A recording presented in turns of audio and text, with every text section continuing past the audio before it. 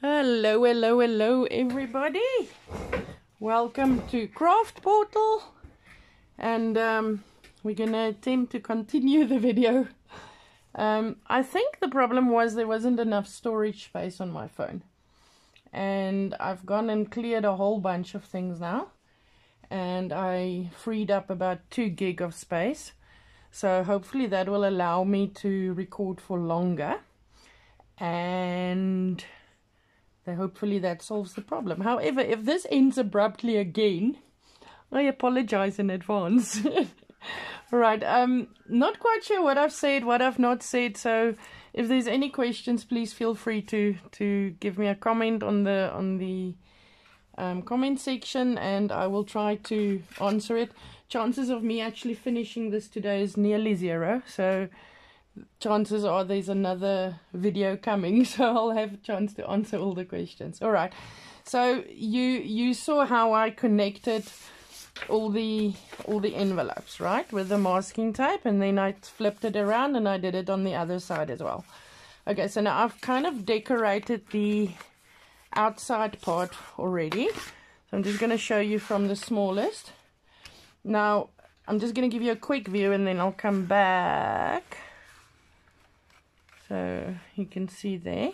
All right now what I've used here is I've used the wallpaper that um, stands out or stands up.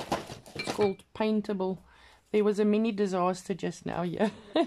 All right um, you know the the paintable wallpaper that sort of stands up and um, I've basically used one sheet and then tore it this way and then started at the big envelope and then sort of worked my way um, over just sort of uh, attaching you know kind of have the theme run right through. So there I started there.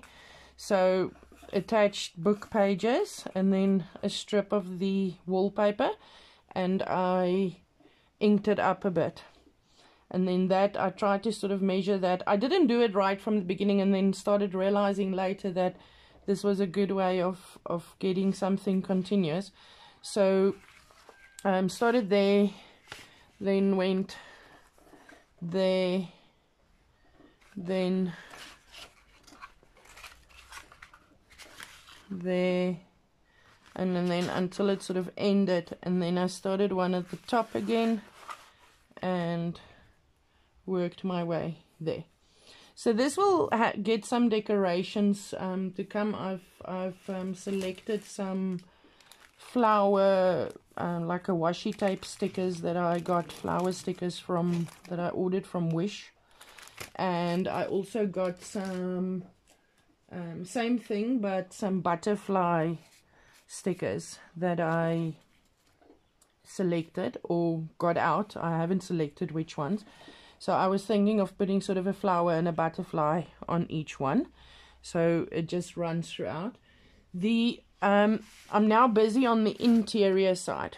Oh, and um, what I've also done is I've cut a few um, little fabric strips that I'm now going to place over the over that but I've still got to sort of ruffle it you know like just ruffle it up on both sides. Those two sides that I that I got it from was torn already. I tore that earlier. So those are already torn but now sort of do that and then stick that there. So um, we might actually want to do that first mm, or start. No I think what we're going to do is we're going to start on the inside and then because I mean there's nothing to learn there you know just stick it. Glue. Stick. That's it. Okay. It's not not not that I can teach you anything there. Um I'm not a, a total over embellisher you know I'm not a person that sort of believes let's throw everything you've got at the piece of paper in front of you. So I'm actually quite I don't I wouldn't have said I'm a minimalist but I think in decorating these things I am. All right. Um as you can see I I did this slightly different in the sense of the other side is sort of um give, look for an example. Like that. It's torn and then blended in but I've decided that this is way easier or rather I'll give you the pretentious answer to make the exterior and the interior of the um, folder look different I've decided to to put a different type of page on here and not tear it at the side so that there's a distinct differentiation between the outside and the inside of this ephemera folder. How was that? All right. the truth is I was too lazy. It's much easier doing it this way. you just put glue on, stick it, and then cut it out. it's way easier. All right. Um, so I've tried to sort of do the, the little flappies. Um, I got up to the fourth envelope, yeah, and I still need to do these. Now, my idea here is that I want to create pockets here now. So I've got a few um, pages here and I, I have a few more that's not been, you see those I've tore to make sure that they you know, would fit on the envelope.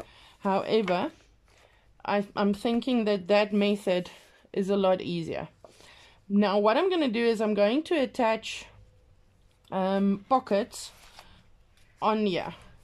And what I thought to do is to use these, you know, like paint cards, like this is Aura U, and this is Daisy Roots, and this is blonde tint okay so I was thinking of using these cards to make little pockets here at the bottom or um, maybe more to the top and then as it grows because other then all the bulk is not you know like when when the envelopes roll up then this is going to be where the bulk of the um, thickness is. So if you can put some of the, the things at the top, it will make it a lot easier. Okay. So, um, I think what we're going to do here is, um, let's have a look. If I, it's not going to exclude that in any which way I do that. So let's do it this way. Okay, so if we attach it there, I'm just lining it up with the end of the envelope, yeah? And then it will line up there. I'm just going slightly, slightly in. So it's sort of inside the thing. And then I'm to sort of just do the same from the top. And then I'm to sort of eyeball the and cut that off. Okay, let's see. Right, slightly skew. okay, that seems to be okay-ish. Just gonna cut off there. Alright. And then um, I want to cut that top part off. Um, I need to line it up with something. There we go.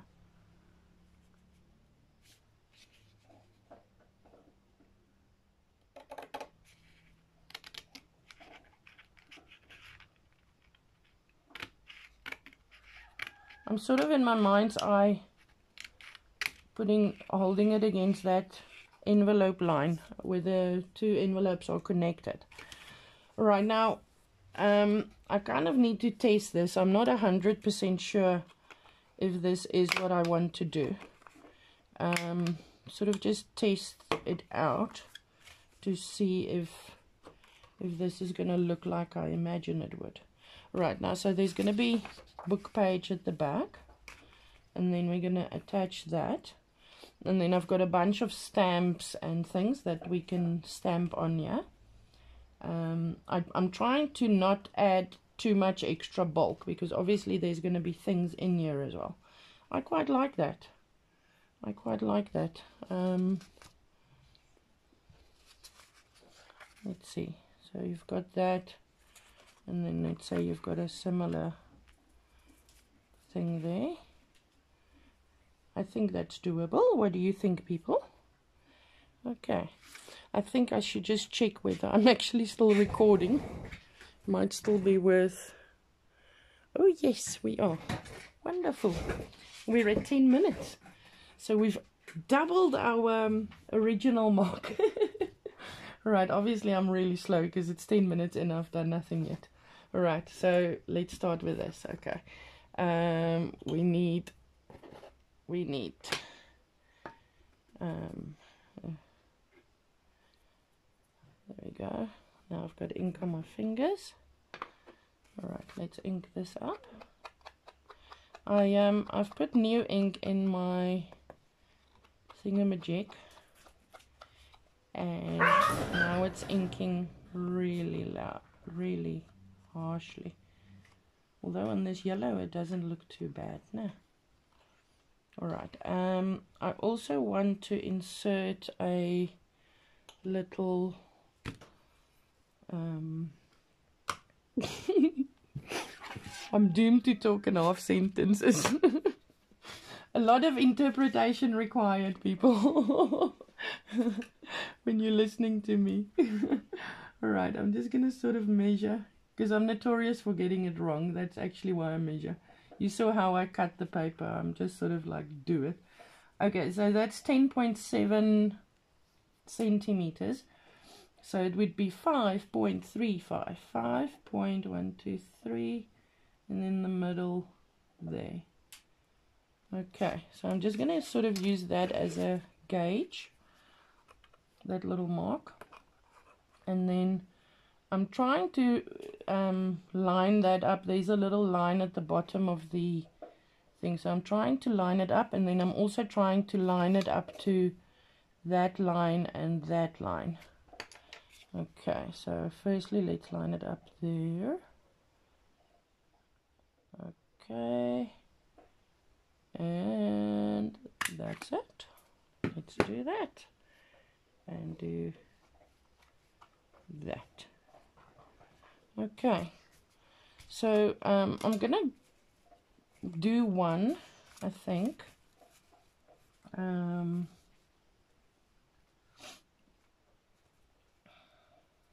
I'm gonna need some book page down here as well. Okay. I think I'm gonna do one and then just sort of cut them out for the others and then I think just do a bit of decorating. Um, I'm really scared that the the timing on the thing is gonna catch me again. All right so let's do that. All right so glue stick. Um, I found a, a recipe to make the, the glue stick. So one of my future videos will be making glue stick.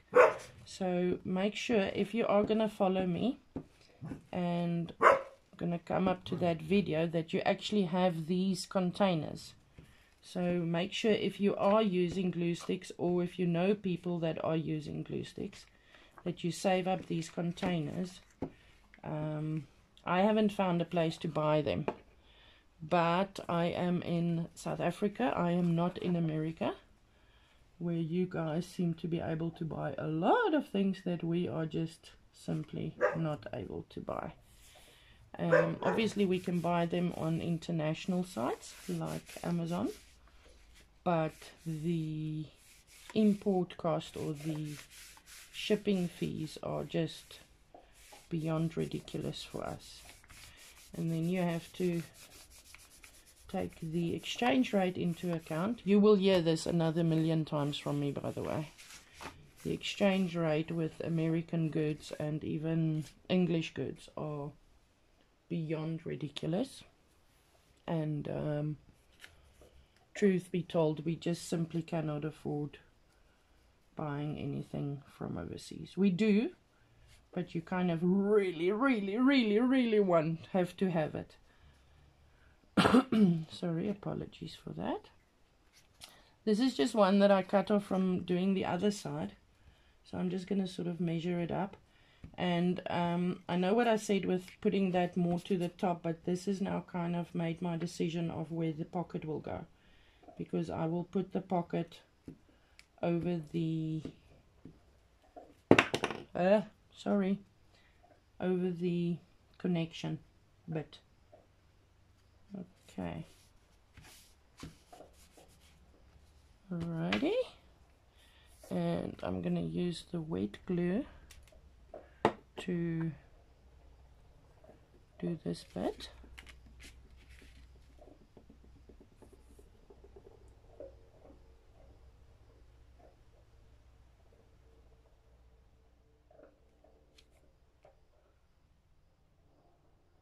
This is just wood glue.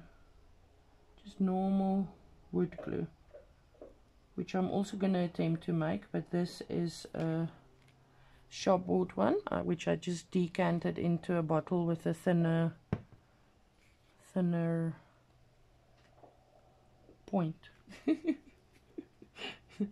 People, by the way, sorry, I am not a native English speaker.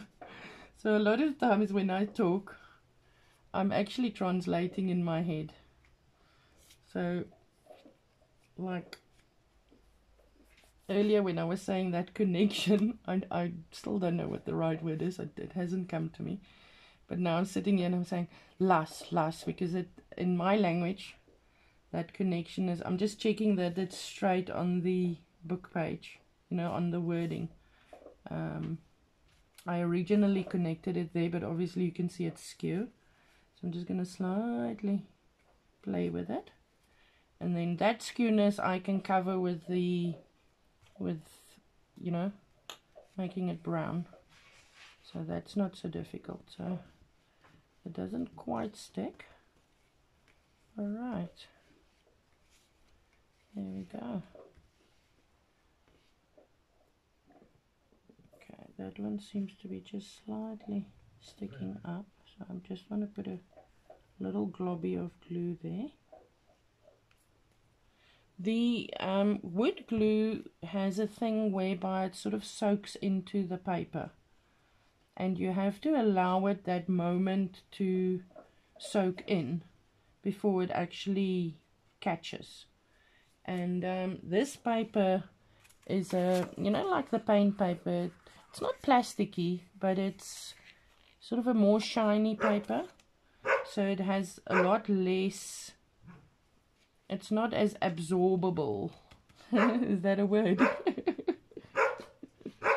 In Afrikaans that is a word absorbeerbaar. So my translation abilities is going to give you English speaking people a whole bunch of new crazy words if you speak more than one language, there's sometimes things that happen in your language and that doesn't happen in another language. It's sometimes really, really, you know, it doesn't translate. Like, have you ever thought what butterfly means? butterfly.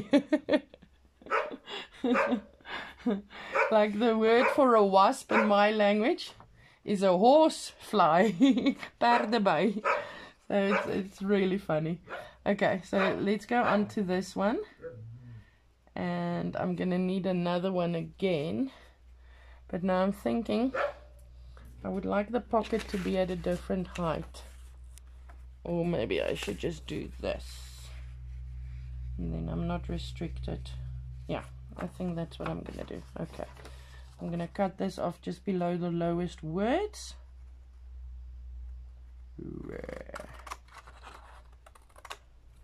And then I'm going to stick the bottom first no second. Okay. So I'm going to stick that part on and then this part and then my pocket can go there where they separate where the connection is. Alright let's use the glue stick to get this one on.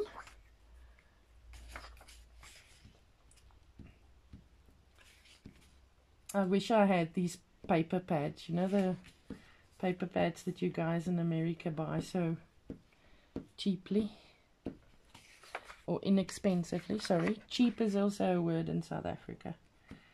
We we have a few things that we say differently from the way that you guys say it, and it doesn't have quite the same contextual meaning. I lived in Spain for a few years and I had a lot of um, friends from the UK, so English speaking friends from the UK.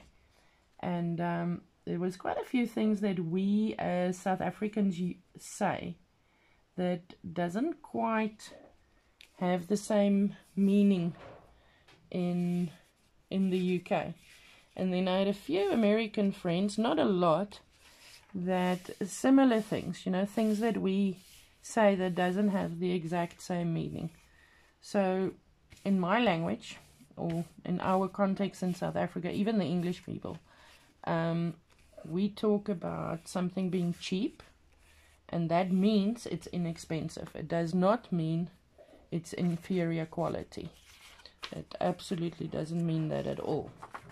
That is never implied by assuming something. It, it's it's more to say that it's a bargain. You know, it's cheap. It's a bargain, rather than saying that it has any inferior quality to anything else. So, if I sometimes say things that offends or it's not quite the way you use it or whatever, just be tolerant. You know, talking the whole time whilst you're crafting is already difficult. Talking in a different language whilst you are crafting is a challenge to say the least. I'm not I'm not uncomfortable in English. I'm I'm very comfortable in English. But it still happens that I sometimes have to translate whilst I'm busy and not spontaneously just um, saying the words that I would. I think what I need to do is probably grab my brand new. I bought this for my birthday. This was my birthday gift to me on my birthday. Really cool. um, I'm 48, guys, and this is just way too expensive to buy. It's just really, honestly, too expensive to buy. And um, when it was my birthday, I said, Do you know what? I'm buying you. um, okay, let's see.